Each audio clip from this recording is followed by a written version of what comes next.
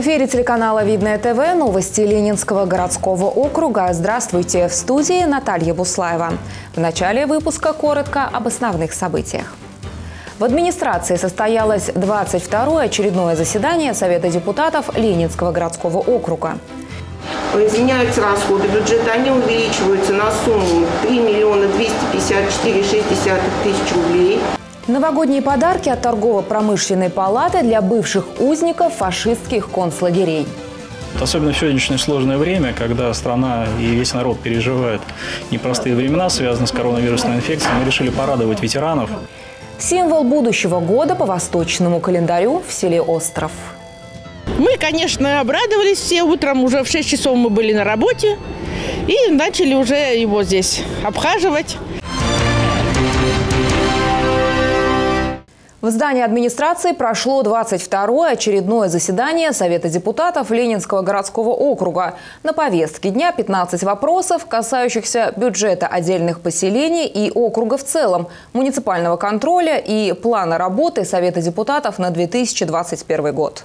Заседание началось с объявления результатов до выборов Совет депутатов муниципалитета, которые прошли в минувшие выходные, и вручения удостоверения депутата избранному по 14-му избирательному округу Артему Грудинину. Мои избиратели, а именно 503 человека, которые пришли на выборы, которые проголосовали, а, написали невероятное количество наказов, которые э, я планирую выполнять в ближайшее время. В совхозе Миленин есть проблема с Домом культуры.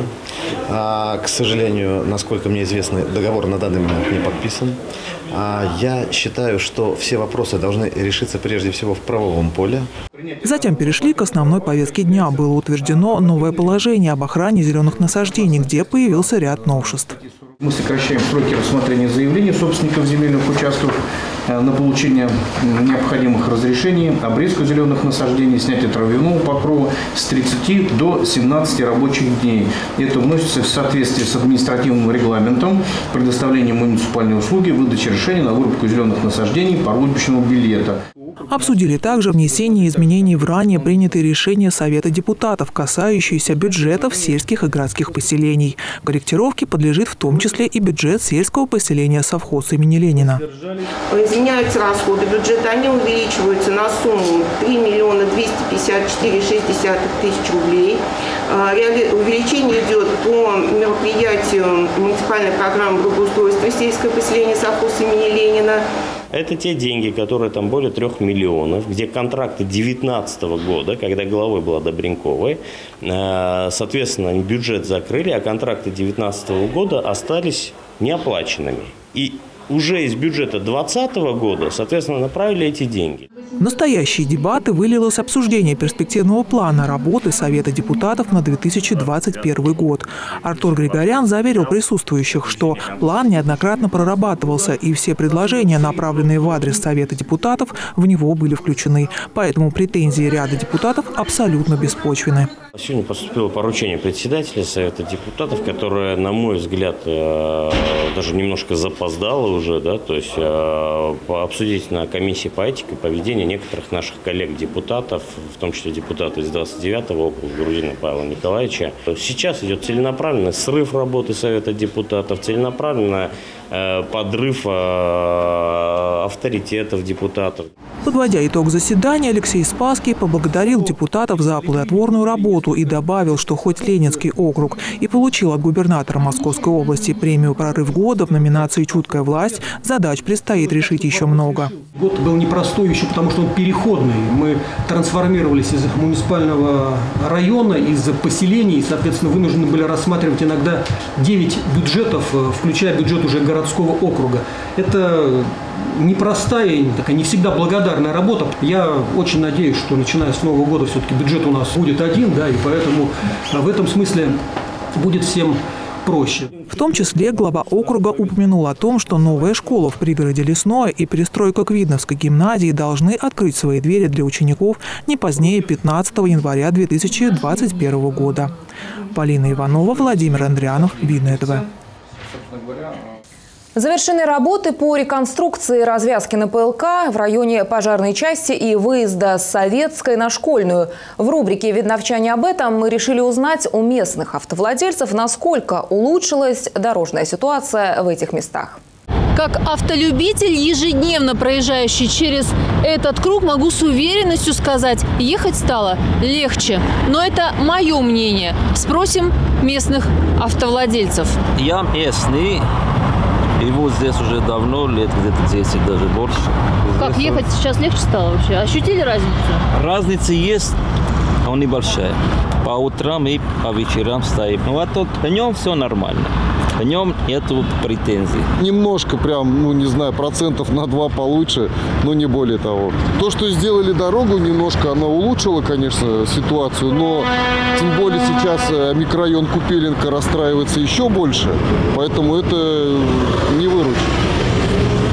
Ну, может быть, когда выезд на шестой, с шестого сделают полегче? Ну, да, это уже как бы будет плюсом большим. Здесь все равно пробка, здесь кругом не излечишь, что надо все делать, понимаете? То есть круг это хорошо, да, но нужно что-то больше. Лучше стало, потому что там три полосы уже стало. Когда была одна полоса, неудобно было ездить. Сейчас одна налево сюда поворачивает и две полосы прямо. Намного лучше. На 5% я оцениваю, поехали быстрее. Если вы считаете, что это изменило погоду, то да, возможно, но по большому счету погода это не сделала. Расширили, конечно, получше. Но в идеале, чтобы дорогу новую побыстрее построили. Все равно пробки в старом городе. Еще один важный перекресток, соединяющий улицы Советская и Школьная. Совсем недавно здесь наблюдался ежедневный коллапс в утренние и вечерние часы. Вот такую картину очень даже приятно видеть. Машины двигаются свободно, хотя сейчас э, полдень, и, в общем-то, на дорогах гораздо меньше машин, но и в часы пик здесь стало передвигаться проще. Очень хорошо стало выезжать вот с улицы Советской на улицу Школьную. Легче проезжать, если только сейчас вот там заранее знак поменять, поставить такой, что можно с двух полос выезжать. Очень, очень удобно стало. Здесь разворот немножко проблем. Ближе к этой светофору, там долго стоим. Ага. Оттуда, когда приезжаем, вот здесь разворачиваться Но надо. все-таки реконструкция помогла как Конечно, помогла. Сейчас удобнее. Немножко попроще, но нахалы устраиваются в 3-4 ряда. Поэтому здесь надо делать э, шахматную разметку, чтобы они не выезжали. Они выезжают прямо туда. Мгм. Кошмар какой-то. Полегче. заметили после М, реконструкции? м, Немножко. Немножко. Да, совсем чуть-чуть. Но бывает, собирается пробка все равно. А это не от самих водителей зависит? Да может быть и от самих, потому что лезут в дворе, да. Очень хочется, чтобы из вышесказанного были сделаны определенные выводы и теми, кто отвечает за дороги в муниципалитете, и водителями, которые также являются причинами пробок, нарушая правила дорожного движения. Татьяна Брылова, Александр Логинов, Елена Кошлева. Видное ТВ. До Нового года осталось совсем немного времени, а люди начинают дарить друг другу подарки. Вот и депутат Ленинского городского округа Владислав Рымша посетил Совет ветеранов муниципалитета. Естественно, не с пустыми руками. Подробнее расскажет Дмитрий Книга. Председатель торгово-промышленной палаты и депутат муниципального совета Владислав Рымша посетил Совет ветеранов Ленинского городского округа, чтобы поздравить с наступающим Новым годом бывших узников фашистских концлагерей и вручить им подарки. Анатолий Кириллович, позвольте вас поз- поздравить с наступающим Новым годом, пожелать вам здоровья, счастья, чтобы у вас никто не болел, чтобы вы еще долгие годы нас радовали, бы- были вместе с нами. Ветераны остались очень довольны подарочными наборами от торгово-промышленной палаты. Для них 2020 стал особенным годом из-за юбилея победы в Великой Отечественной войне. И им очень приятно, что о них помнят и не забывают. обзванивали наших узников и говорили, что вас ждут подарки, посвященные 75-летию Победы и посвященные наступающему Новому году. Вот, радость у всех была запредельна. Несмотря на почтенный возраст, члены ветеранской организации стараются вести активный образ жизни, занимаются патриотическим воспитанием и участвуют в памятных мероприятиях. Узники фашистских лагерей – это особая э, наша часть нашего общества. Это люди, дети, которые, э, э, детство которых было опаленное войной. Они не видели этого, так сказать, что сейчас видит наша молодежь. Поэтому они очень трогательно все это относится к этим мероприятиям.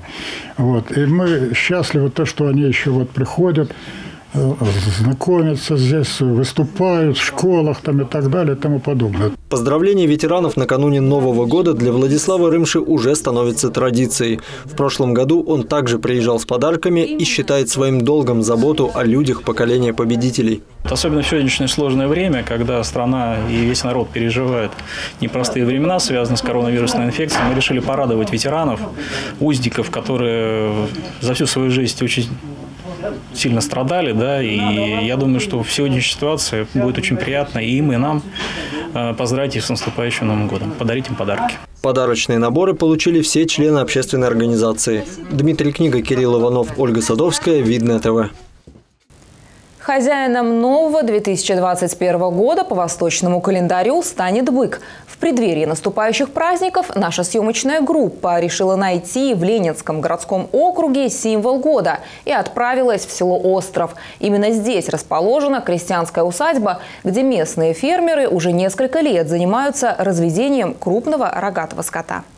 Символ наступающего года живет именно здесь, уверены фермеры крестьянской усадьбы в селе Остров. Его так и зовут – Новый год. Бык родился в прошлую новогоднюю ночь. Мы, конечно, обрадовались все. Утром уже в 6 часов мы были на работе и начали уже его здесь обхаживать.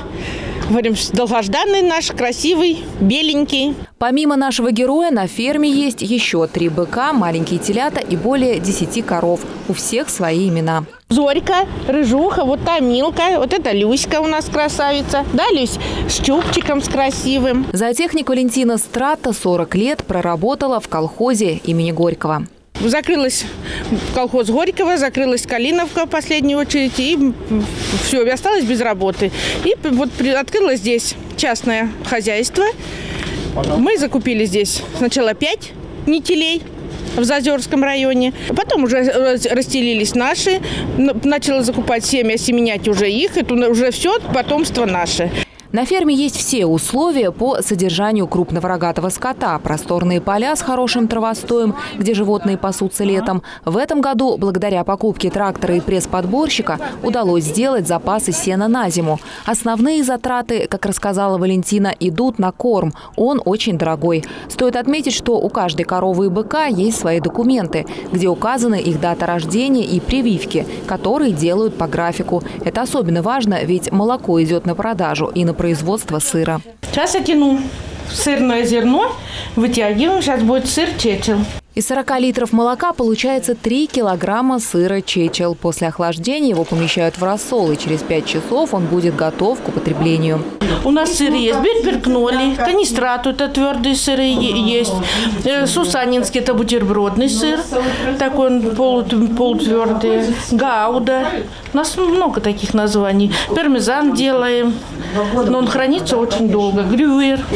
Недаром говорят «здоров как бык». Пусть наступающий год быка принесет в каждый дом здоровье и силы. Наталья Буслаева, Александр Логинов, Ольга Садовская, Видное ТВ. Это все новости на сегодня. В студии была Наталья Буслаева. Всего доброго и до свидания.